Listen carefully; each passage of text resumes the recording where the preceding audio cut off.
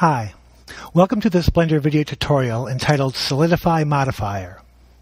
Blender's Solidify Modifier adds an extruded thickness to flat or thin meshes. To demonstrate the Solidify modifier, I've placed a modeled corner wall-like object in my Blender scene. One wall section has a modeled arch door, and two arched window cutouts, and a circular window cutout. The other has a modeled rectangular door, and two rectangular window cutouts. The wall object has no extruded dimension. With the wall object selected, I'll click on the modifier icon in the Properties panel and add a modifier. I'll select the Solidify modifier. I'll set the thickness control to 0.6. Note that the modifier has extruded the cornered wall object, including all the doors and window openings. However, if we look closely, there's a bit of a distortion where the walls meet. To remove this distortion, checkmark the Even Thickness box in the Solidify Modifier panel.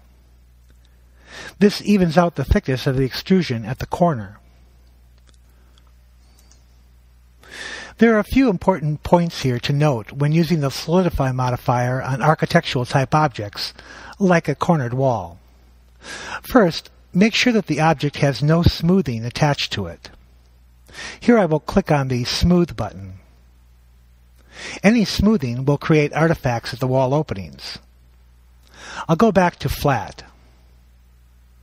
Secondly, the faces that meet in the corner need to be all quad faces.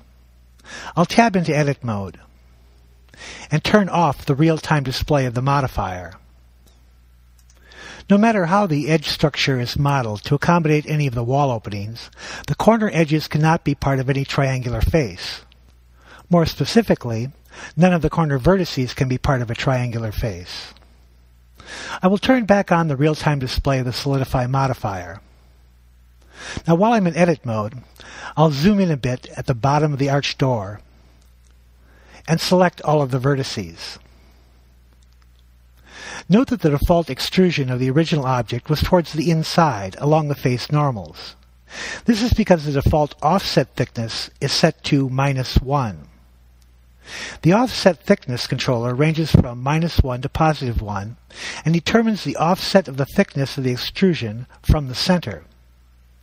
I'll set the offset to 0. Notice that the extrusion, or perhaps solidification is a better word, is perpendicular to the normals in both directions. I'll set the offset to 1. Now the extrusion is toward the outside along the face normals. I'll tab out of edit mode.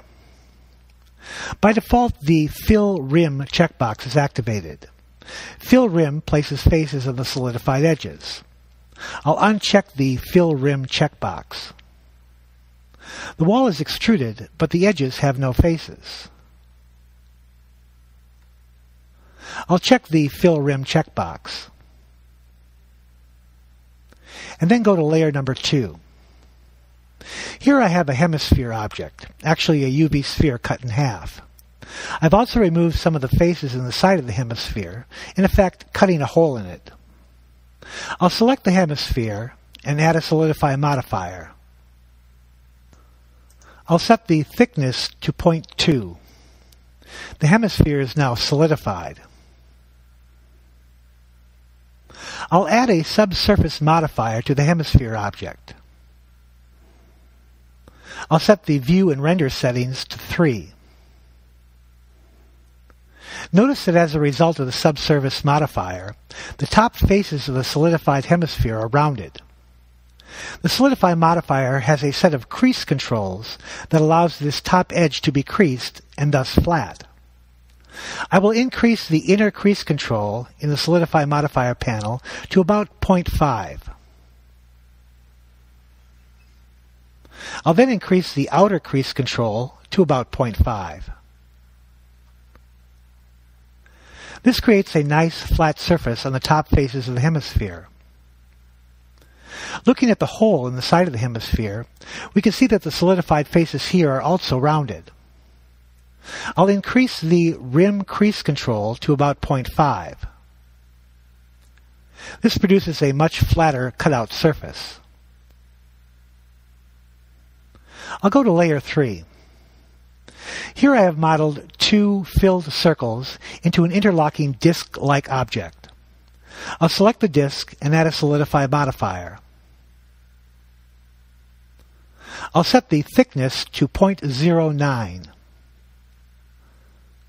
I'll check mark the even thickness so that the intersecting corners are equally solidified.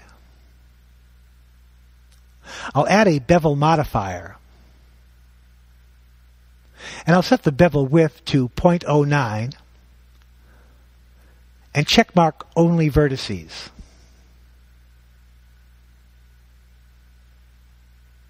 I'll go to layer 4. Here I have a vase-like object that I modeled using Blender's spin tool. Now I have already added a subsurface modifier to the vase with the view and render control set to 3. I'll add a solidify modifier and set the thickness to 0.2. The vase is solidified. Notice that the top rim of the vase is fairly flat already. Adjusting the inner and outer crease controls in the Solidify modifier panel have no effect on the vase object. This is because, unlike the hemisphere object, the Solidify modifier comes after the subsurface modifier.